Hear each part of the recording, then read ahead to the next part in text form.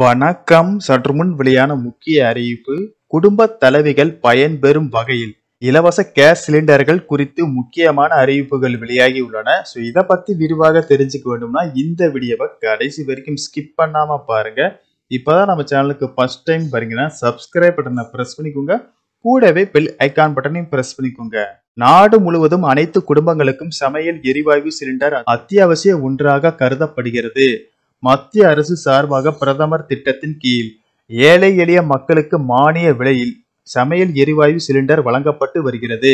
இதனால் ஏராளமானோர் பயன்பெற்று வருகின்றனர். இந்த நிலையில் ஏழை மக்களுக்கு இலவச சமையல் எரிவாயு இணைப்பு வழங்கும் பிரதமரின் உஜ்வாலா யோஜனா திட்டத்தில் பயனாளிகளுக்கு கேஸ் அடுப்பும் முதலாவது சிலிண்டரும் இலவசமாக வழங்கப்படுகிறது. இந்த கேஸ் இணைப்பு பெற விண்ணப்பிப்பது எப்படி இதற்கு தேவையான ஆவணங்கள் என்ன தகுதிகள் என்ன என்பதை பற்றி இங்கே பார்ப்போம். தேவையான ஆவணங்கள் ஆதார் அட்டை அல்லது வாக்காளர் அடையாள அட்டை சேமிப்பு கணக்கு பாஸ்புக் அல்லது வங்கி கணக்கு அறிக்கை இருப்பிடச் சான்று பிபிஎல் ரேஷன் கார்டு பஞ்சாயத்து பிரதானால் அங்கீகரிக்கப்பட்ட பிபிஎல் சான்றிதழ் சமீபத்திய பாஸ்போர்ட் சைஸ் போட்டோ விண்ணப்பிப்பது எப்படி?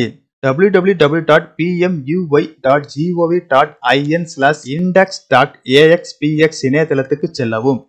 அதில் இண்டன்ட் பாரத் கேஸ் ஹிந்துஸ்தான் பெட்ரோலியம் ஆகியவற்றில் ஏதேனும் ஒரு சிலிண்டர் சேவையை தேர்வு செய்யவும் எல்லா விவரங்களையும் பூர்த்தி செய்யவும் விண்ணப்பம் சரிபார்க்கப்பட்ட பின் உங்களுக்கு சிலிண்டர் இணைப்பு வழங்குவதற்கான பணிகள் தொடங்கும். தகுதிகள் பெண்களே இந்த திட்டத்தின் பயனாளிகள் என்பதால் இதற்கு விண்ணப்பிக்கும் பெண்கள் பதினெட்டு வயதிற்கு மேல் இருக்க வேண்டும்.